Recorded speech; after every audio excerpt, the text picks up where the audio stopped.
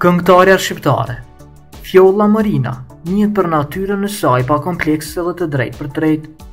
Fjolla Morina, një vajzë e kompletuar që i ka të gjitha të mirat.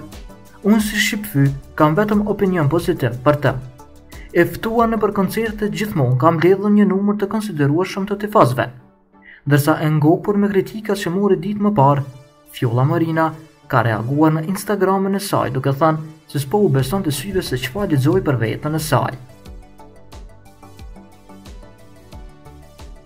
Subscribe kanalin Shqipfy që t'i përcillni të rejat e fundit nga showbizi vendor.